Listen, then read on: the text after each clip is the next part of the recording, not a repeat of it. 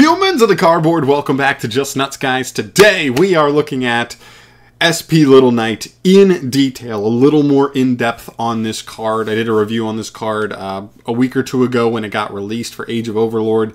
Each card is insane. Um, I really believe that this may be one of the best Link 2s we've gotten, definitely in a long time. Um, ever is hard to say because of stuff like Halqifibrax and, you know the the link twos, Verte Anaconda, those kinds of link twos that are like that, that are broken in their own way. But I think the the fact that this card does so much utility wise as a super generically accessible link 2 really makes it a, a really cool card that uh, I think is going to see a good amount of play uh, going forward. So we're going to go a little more in depth on the card today. We're going to look at uh, the card, eh, most of its uh, applications and what I expect there. And then I have 10 decks that I think have a little bit of added bonus synergy with this card, uh, a little leg up in that regard uh, than most decks will have, even though this card is so generic that if you play a deck and you have an open spot uh, in your deck, you probably just play this card unless you're literally playing a deck that doesn't go into the extra deck. That's really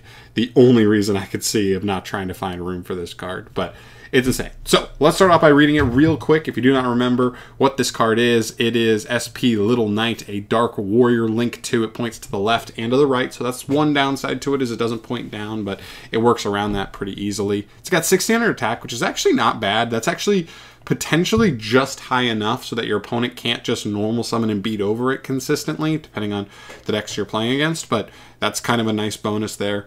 Here's what it does. It takes any to affect monsters, but if it's link summoned using any extra deck material, fusion, synchro exceed, or link, then you can target a card on the field or engrave, banish it amazing. Also, your monsters cannot attack directly for the rest of this turn. That is a, a, a restriction for sure. If you needed this to kind of go second to help break through a board, you certainly are not OTKing, and that's totally fine though, because I think this card's removal effect is still doing plenty.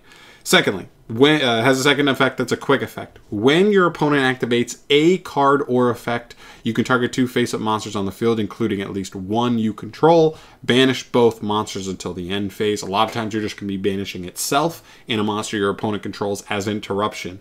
That is just a bonus interruption on this card, which is really nice because now not only does this like low-key just power creep stuff like the Knightmares of the world, uh, like why make a Phoenix or a Cerberus discarding a card from hand, losing an extra card from hand, uh, when this card banishes, which is just a better form of removal anyway, and then what you're left with is just a straight up interruption on your opponent's turn. Is it the best interruption in the world, that quick effect? No, it, it can be worked around for sure.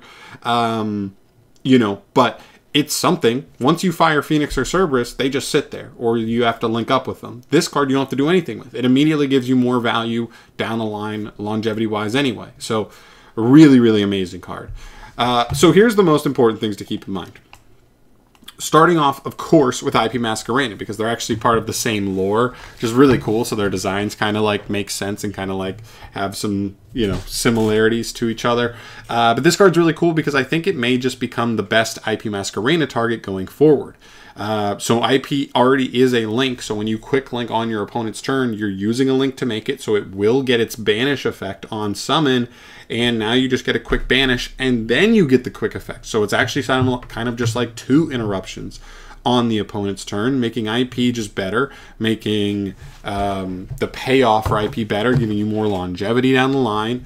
Just really, really good uh, for sure. So you definitely have to keep that in mind. Is any deck that like is looking at end board options, this is really, really cool. And also, any deck where, like, oh, uh, I didn't really get anywhere, I didn't get far enough, I got hand trapped, whatever, make IP with any other monster on the board, and you know what? That's something. If your opponent had to throw two hand traps at that and you're going to set up two interruptions anyway, that's definitely something to keep in mind. All right now we get to the generic side of things. This is something just to keep in mind. I think one of the other benefits of this card is that you can just make it fluidly in a lot of scenarios, just going second as you're playing into a board, and it's just better than the, the Knightmares. So if you're able to just kind of like uh, just oh, I'm playing into a board, I get a couple monsters on the field, and then like keep breaking through the board, just make this card kind of smoothly, and then it can now tag out to dodge certain things. That's really annoying for your opponent to deal with, kind of thing. Um, there's a lot of value there. So the, like decks that kind of fit these link ones are going to have a lot of easy access into that. So any spellcaster deck has some easy access to this card. Uh, plant decks have a little bit of extra easy access to this card. Dragons, they have a link one, of course they do. Uh, Cybers, they have Linkuriboh. They also have Banlinks and a couple of other generic link ones, but Linkuriboh gives them actual other utility. Um, and then you get to like the super generic ones. Any you know deck that has small normal summons, Almiraj, Anima, and Link Linkuriboh for just any deck that's a little bit heavier on Link ones. Boom, ex- extra easy access to this card. Um, Link Spider, any deck that either plays with tokens or anything. Uh, this makes it so uh, that just like the adventure engine just makes this card super easily. Not a problem there. Um, Claire and Rushka. Um, this is another one. Like take any normal summon post uh, post. Uh, I guess in main phase two, and you're good to go. And then we get to the actual top 10 decks that I think have specific synergy. So, Sky Strikers, perfect because you can just link up into this card going second to help break a board, and then it, it is in the extra monster zone, so it keeps that extra monster zone clear. When it uses its effect to tag out, it clears itself, um, and even if it comes back into the main monster zone, eventually it can just do it again whenever your opponent tries to activate anything, clearing your zones to make everything else live immediately once again. Uh, really good synergy, I think, with this deck. I think this card could be an absolute staple in Strikers. I know they're tight with extra deck space, but this one could be just good enough. Um, Vanquish Soul. I actually think Vanquish Soul has some good utility with this card. Um, if you can just straight up make this card with like Rock the Vanquisher on field, uh, or I'm sorry, if you can make IP Masquerena while you have Rock uh, the Vanquisher on field, then like Rock is just getting you a bunch of resources added back to your hand, and then you're still able to just get like two interruptions from there. Or maybe Rock summons a monster uh, to your field uh, so that way you can like have some of the Vanquish Soul interruptions, and then you're still able to IP um, into interruptions from there. It's just a super generic card. Vanquish Soul has a lot of open extra space. I think that makes a lot of sense. S Force, I had to throw this one out there because it's still part of all this same lore. Um, and they have a link one. They have a link one that actually has a quick effect, so kind of like in the same vein as as uh, Vanquish Soul. If you kind of can just make this card, you get like an extra monster summoned back from uh, Banish. Um, to like help get more resources, more bodies on field, and then get the double interruption off of the Masquerena potentially. Still pretty good. Uh, Scareclaw. Scareclaw's a nice one, I think. Um, I think they have a little bit of extra space for sure uh, for some stuff to mess around with. So I think Lightheart's a pretty cool option for them. Or I'm sorry, uh, Little Knight's a pretty cool option because of Lightheart giving them super easy lines, like one card lines to get in there. Uh, Dark Infant at Ignister, uh, or just at Ignisters in general. Uh, what I like about this one is that you could like make SP Little Knight going second, and then just like still use um, the field spell to just keep summoning from hand um, and go from there. Um, plus, uh, this is a Cyberse stack, so like you could still just make IP Masquerena as part of your end board and like. Uh, okay, you just still play SP Little Knight in the, in the extra to have that that as a form of interruption. It still works. I think it's decent. Uh, yeah. Uh, Traptrix.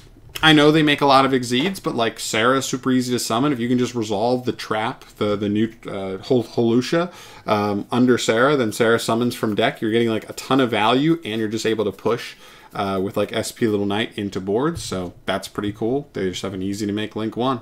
makes sense. Magical Musketeer. I actually think this is a pretty nasty card for muskets. Um, Muskets uh, at times in, in the past have been a hard going second deck. So the goal is like make max going second. It is a must negate, but if it resolves, you go crazy. And now it goes even crazier because like the whole point of max is like if you resolve to summon multiple musketeers, you then just like link climbed into some Knightmares, got some pops. Now you just have better Knightmare, right? Um, and then it even offers you interruption on the opponent's turn if it's not killing your opponent in that same exact turn. So very very cool value. I think there's definitely something uh, to go there, especially if um, like maybe Musketeer plus. Oh, I didn't. That's my fault. Runick Musketeers. Very very cool. I did not put Runick on this list, but I might as well throw that out here now uh, because Runicks just cheat out their fusion super, super easy. It gives you a super clean way to just like give half your material. Like it gets you the field spell, gets you that grind ability, and then you could just make SP Little Knight. I think this card's really good for Runick as well. Uh, moving on. I, is this the last one? Oh no, it's not the last one. Okay, Unchained. Uh, if you didn't know, and, and Unchained doesn't have a great Link One to take advantage of, but if you didn't know, all of the uh, the effects of the Unchained that link off with an opponent's special summon monster allow you to go into any generic dark link. This card is a Dark Link. Uh, that's why sometimes you would even make a Knightmare Unicorn to shuffle a card. But now you could just make SP Little Knight. You don't have to discard, lose that hand advantage, but you get a banish instead of a shuffle, and then you still have the second interruption effect. So it's technically like three interruptions there. That is a staple, I think, in Unchained going forward. Epurrely Beauty, um, or just uh, Purrely in, in general. This is a deck that one monster gets you into your uh. Um, it's a really good utility removal card. I think it's just potent. It's just like straight up better than Donner at this point for the deck. So they'll probably just replace Donner with it. Not surprising at all. I definitely expect that. And Zoodiac is another one, like just a deck that has one cards, one single cards that get you access to either multiple bodies or uh, and at least like into an extra deck mechanic. So you can either threaten your opponent with Zeus, but if your opponent never even like like negates you, never lets you like attack directly or anything, you can still take that material into SP Little Knight and get some removal from that point forward. Uh, and of course, Runick. I didn't mention Runick. And there's probably some other fusion mechanics that I think, fusion decks that I didn't mention here that may have slipped my mind. I kind of just went with the ones that kind of stood out to me just off the top of my head of what uh, would make some really good sense with this card. But there you go um, just a little bit more in depth with this card. Uh, just want to get your kind of your brains going on this card. I really want to hear some of your guys' ideas. Yes, I know this card can probably just be abused by almost any deck in the game, but if you can think of any decks in particular that just have like a little bit of extra synergy, a little bit of extra ease of access to this card, um, I definitely think it's worth noting because those are that's what like is going to make this card stand out is like the decks that can like really really access it, not just oh technically I can make it reasonably easy. Like the decks that can make it super easy, I think are going to have a little leg up from this card. But uh, yeah, those are my thoughts on SP Little Knight. It's an incredible card. It's one of the best links, generic links we've gotten in a minute.